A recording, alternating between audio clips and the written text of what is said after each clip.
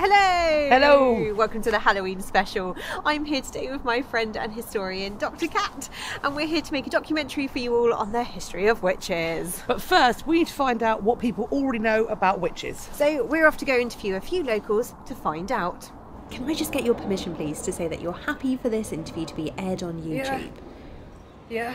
So, what do you know about witches? Witches, ah, well, I know they're often old women and have tall, pointy hats, don't they? Oh, witches, yeah. Usually have a little black cat by their side, don't they? Or is that a frog? Is that a frog? Good evening, madam. I just wondered if you knew anything about witches. Witches? no. Why? Who's asking? Okay, so we are ready. We have our backpacks, we have the tent, yes, and we have our whole load of supplies. Kat, what have you got there? Supplies. Right, so where are we heading to then, Kat? We're off into the deep, dark woods. Oh, why is that then? Is this wood supposed to be haunted? Oh, is there an evil legend of a witch on top of the hill? Oh, has this wood got a long and torturous history of campers mysteriously disappearing? No, we couldn't find a museum with available dates. Plus, it's a wood, so spooky.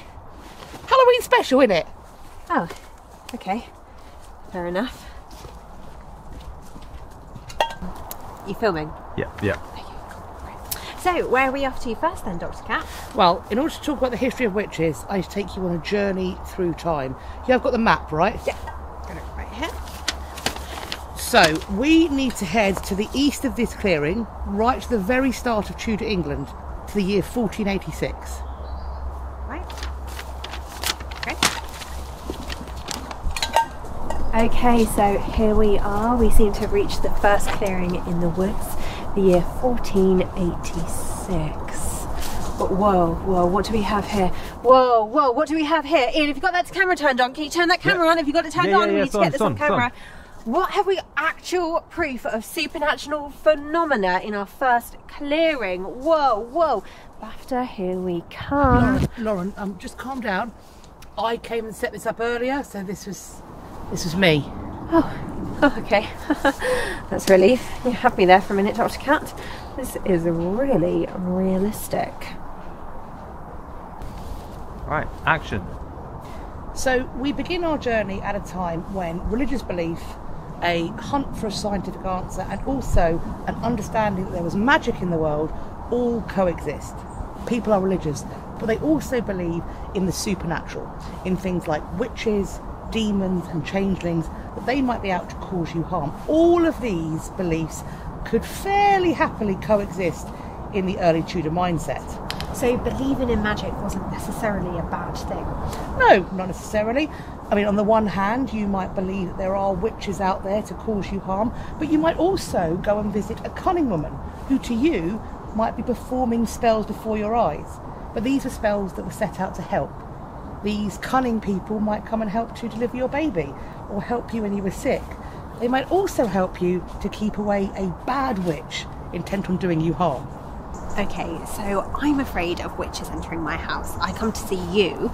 You're a cunning person. And what might you suggest I do to protect my home? Well, I'm glad you asked. I might suggest that you have yourself or someone else make up one of these. It's a witch bottle. You fill it with all sorts of everyday objects and it's supposed to keep away witches. Okay, so what do we have in this one It's a very traditional recipe. That is nails and urine. Ugh, I don't want that. And the thinking behind this one was? Well, it's supposed to counteract a witch's curse and punish her by giving her a painful wee. And cut. So whose wee is that? I don't know. It's not mine. Is it leaking? A little bit. Right, action. Okay, so why do we have a pair of shoes hanging from the trees? Well, Lauren, I thought you'd never ask. Shoes are known for their protective qualities. It was thought that they could confuse a witch or other supernatural entity. See. So you thought you'd leave a pair of shoes in the tree stake just in case we were followed by a witch? Well, exactly. You can never be too careful. We have found shoes in lots of houses. People used to put old shoes in attics, in the walls, just to keep people safe. Hmm, and what about witches' marks? Is that another one? Good question, yes. Witches' marks are carvings in houses and other buildings, and they tend to be around doorways or around windows, places where a potential witch might come in to keep them away. Our journey here. Let's lean up against maybe. Okay, you ready? Yeah. Let's give it a go. Action. Okay, so why have we started our journey here then, Dr. Kat? Surely people believed in witches before this point. Absolutely. We've got evidence that from at least the Roman times there was a belief in witches. But this year that I brought you to is really important. This is the year in which the Malleus Maleficarum is published. What? Sounds like a magical spell, the Malatus Madadarum. The Malleus Maleficarum. The Mollius Maladadarum. No, the Malleus. You know what? Doesn't matter. This is the Malleus Maleficarum. It's written by a German clergyman called Hans Kramer, and essentially it tells you everything you need to know about how to find and hunt a witch. It's full of a series of questions, all you need to know about witches in this period. Ah. Okay. How, how witches injure cattle in various ways. Okay.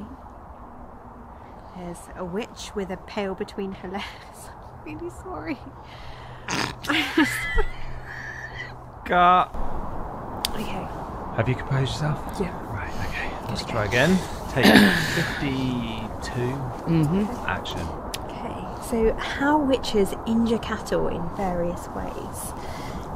Um, something about a witch with a pail between her legs sticks a knife or some instrument in the wall um, and goes to milk the knife. Mm-hmm. Okay, um, and then she summons the cow who has to have a lot of milk, the cow that she wants to hurt. Um, she summons her familiar to go get the cow and milks the knife, and the milk from the cow comes out with the knife. Mm-hmm. Yeah, but you've got to get the devil involved too Oh, yeah. that to happen. Okay. which seems totally reasonable for me. What do you think? I mean, look at this bit. It also explains in here. Let's see. Oh, here we go. Um, why witches are more likely to be women, because as you and I both know, we are, of course, more innately evil. So um, that explains it. Anyway, how about we move forward in time and find out how all of this plays out? We're now heading to the year. What year are we heading to, Dr. Kat? 1542. 15. Um, how are you getting on that map? We should have arrived by now. Oh, um. Uh, I, d- I don't have the map. Did I? I gave it to you, didn't I? Uh, no, you didn't. Yeah, I'm pretty sure. Did I give it to you? Have you got the map? Oh, I don't have the map. I've been looking after the camera. I'm pretty sure I've, I've not got the map, Dr. Kat. I've, I've not got it. I've not, I gave it to you. Have you not got you the didn't map? give it to me. Who's got the map? I, don't- I don't have it. I don't have the map. Well, someone's got it. Right? Someone's got the map, right? I don't have the map. Oh, hold on. Oh, don't worry. I've just remembered. I kicked it into the creek. I'm sorry, you did what? What do you mean the creek? Do you mean a river or a stream? Oh, yeah. Well, that I I, I kicked it into the creek because I I didn't think it was doing us any good. Are you kidding me? I knew exactly where we were on that map.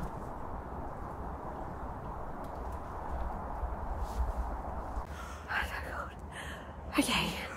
So we did eventually reach our next time period, the year 1542, Ooh. and it is freezing. Yep. What's with the sudden temperature change, Doctor Kat? So you're right. We're in 1542, uh-huh. which is during the reign of Henry VIII. We are here because this is the year in which Henry and his government change the law so that witchcraft goes from being an ecclesiastical offence to being a criminal one. And it's so cold because this is the period when we are plunged into a mini ice age. It's very difficult. So everybody gets a bit colder, everybody is really struggling, crops are failing, and livestock is getting sick and even dying. There are going to be a lot of people that think that maybe this is a punishment from God, while others are going to think that maybe witches are at the root of it, that something has cursed them and the things that they need to survive. So, is it around this time that the stereotype of the witch emerges? You know, broomsticks, cauldrons, etc. That notion of the haggard old crone, it's probably around about this time that it begins, and from this point on, it becomes more and more popular. Why are witches pictured with broomsticks and cauldrons? The cauldron or the cooking pot and the broomstick are traditional things that a woman would use in their household. They are women's tools. Witchcraft is the turning upside down of appropriate female behaviour. So, of course, they keep using these female tools, but they use them improperly. Mm-hmm, mm-hmm. The other alternative is that the broomstick might connect to the broom plant, which may have been used in traditional pagan practices and worship, which was the form of faith in this country before Christianity arrived. Mm. So, witchcraft is made illegal by Henry VIII. Does it stay this way? Actually, no. Henry VIII's son views belief in witchcraft as a Roman Catholic superstition, so he repeals the act. However, Elizabeth I, she brings it back, except for hers is more gentle the witch is only punished by death if it can be proven that actual physical harm has been done by one of their spells. However, after Elizabeth, we are going to see a big increase in witchcraft trials and the accusation of people being witches and being put to death because of those charges. That happens in the reign of King James VI of Scots, who later becomes King James I of England. Do you want to investigate? Does it get any warmer? Not much, but we will be walking. Okay, right, let's go. Okay, so we've almost reached our next destination, but I've got a feeling we're missing a member of the crew. Hold on a minute, where's Josh? Josh? Josh. Have you seen Josh? Josh? Josh? Josh? Josh? Josh? Josh? Where are you, Josh? Josh? Josh, Josh! so young! Josh! Where are you, Josh? Josh! Hang on, hang on, hang on, hang on. Which one's Josh? Who is Josh? We, we don't have a Josh in the crew? No. Oh, oh that's a relief. Oh. Okay, let's continue. I was a bit scared for a minute there. Now, have you ever wondered why so many witches were pictured having black cats. Well, these were actually known as familiars. Um, in other words, a witch's little helper. Now, they were usually a small animal, or sometimes as tiny as an insect, but were often a black cat. Perhaps because many people had cats as pets. Now, it was believed that the witch was given it by the devil, or inherited it from another witch. And it was said that they would feed it, and in return, it would act out its commands. Yeah, Lauren, that's a, that's a great explanation. This is a really unflattering angle, so maybe just move it a bit. Oh, oh. oh it's much better. Yeah, it's better. It's better. Oh. Now go. Okay, so we have finally reached the year 1592, which Dr. Kat has set up to look suitably nautical. Yes. Welcome aboard the ship belonging to King James VI of Scots and his new wife, Anne of Denmark. But be cautious, for they are about to hit a terrible storm! And let's just throw in a sound effect oh. to really get the uh. Ooh.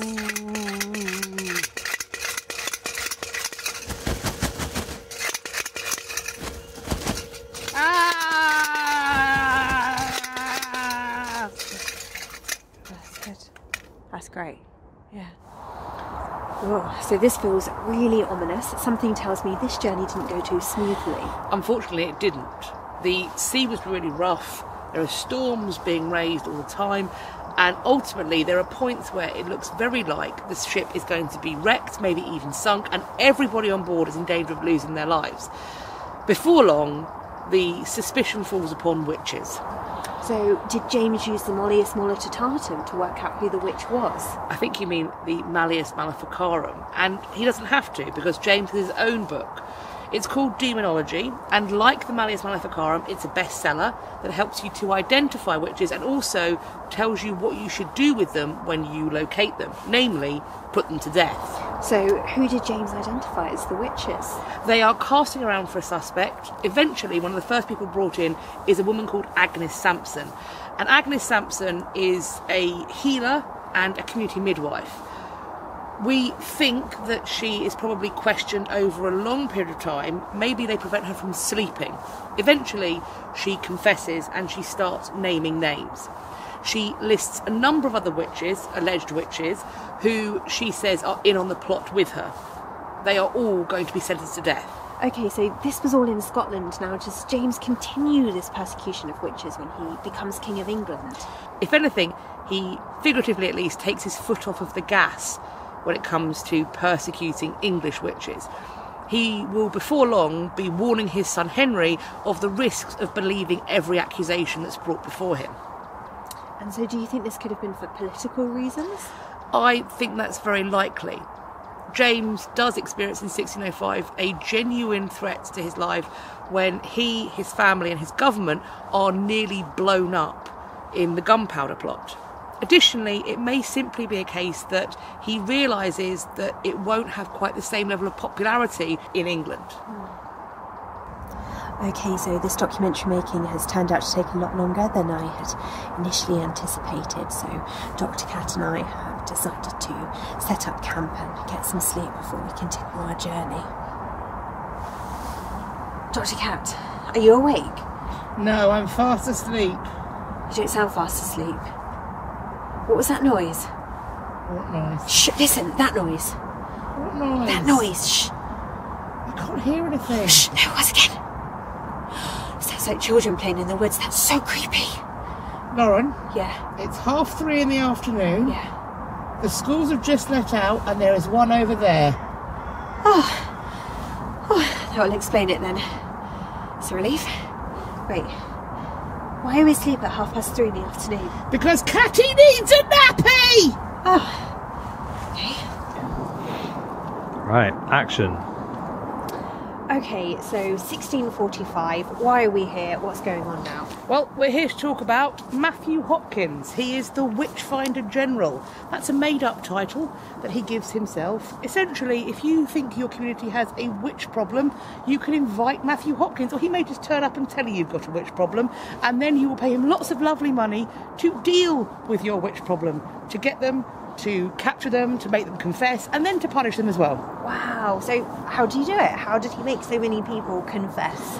There is a process that's known as walking the witch. What this means is that you stop a person from sleeping by making them walk backwards and forwards. This might be 24, 36, 72 hours, or even longer. By this point, you haven't been able to sleep even for a millisecond. Your mind will start to play tricks on you. You do need to sleep for the health of your brain. At this point, you might be hearing things, you might be seeing things, the sorts of things that he is asking you to confess to. You're going to be very suggestible in that way.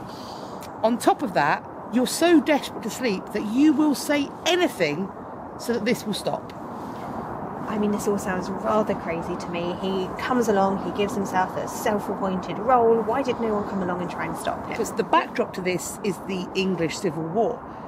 There is Parliament fighting the king, brother fighting brother, son fighting father, neighbour fighting neighbour, and people are in chaos, and so they're looking for people to blame. So communities want to root out their witch problem, and they're willing to pay for it because they feel like the world is crumbling around them. So, when does this all start to come to an end? Well, it gradually peters out over time. It loses favour and fashion. The last person officially to be executed on a charge of witchcraft in England happens in 1682.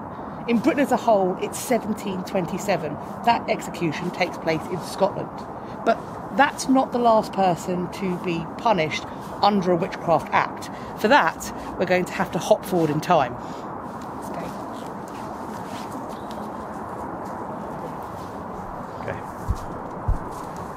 Action. Not gonna lie, this is one of the creepiest props you've brought out so far. Well, thank you, I do try. Uh, we are here in 1944. There is an incredibly famous photograph of Helen Duncan with ectoplasm coming out of her nose. It was in reality a kind of cheesecloth. And behind her is this sort of ghostly figure. Helen Duncan is the last person to be tried and convicted and indeed imprisoned under a Witchcraft Act that was on the statute books. Helen Duncan is a clairvoyant medium. In 1941, she is living in Portsmouth, which is a really important naval town, particularly at this time because it is World War II. At a seance, she channels a member of the fleet of a ship called the HMS Barham. She recounts how the ship has sunk. The problem is that they haven't released the news publicly and they are very confused as to how Helen Duncan could possibly know. To them, there are two options. First, that they see as being unlikely, is that Helen Duncan can do exactly what she claims she can do, that she is this clairvoyant medium who can commune with the dead. The other option that they deem as being potentially more likely is that she is in communication with the Germans. There's a fear that Helen Duncan may be spying for the enemy. In later years, it is thought to be more likely that the naval authorities had told family members who were living in Portsmouth. So it perhaps wasn't quite the great secret that it was presented as. Regardless, in 1944 she has been arrested and now she is being put on trial under the remaining act against witchcraft that's on the statute books. And it's about the notion of fraudulent witchcraft, claiming you can do things to get money out of people. She is convicted and she is sentenced to nine months in prison. Right then, so that concludes our history of witches tour through time. Indeed, it does. I do think that at the heart of all of these stories, sadly, are just tales of people who've been persecuted and wrongly convicted. In many cases, people who were just a bit different. With all that being said, all this talk of witches and this wood is starting to creep me out now, too. Should we get out of here? Hmm. Okay, look. Before we do, there's a house over there. Oh, that's not been lived in for a while, has it? Oh. Should we go inside? What? Are you mad? It's way too creepy. Yeah. Should we just go home? Yeah, it's better. Yeah.